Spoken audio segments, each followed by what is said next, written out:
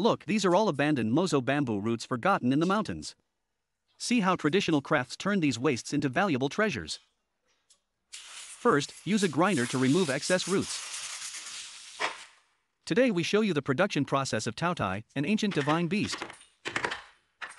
Okay, let's start making. Grind the approximate shape of Taotie with a knife.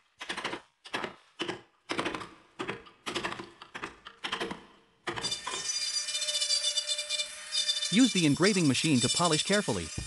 Make the work look more three-dimensional and vivid.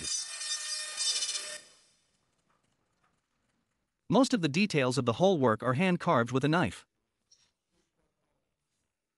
Sharp nails and teeth all need to be carved by hand. The grinding process is very complex, requiring a total of more than 10 processes. The last is the moment to witness miracles. Taotie, as one of the four sacred animals in China. It has a high status in Chinese traditional culture.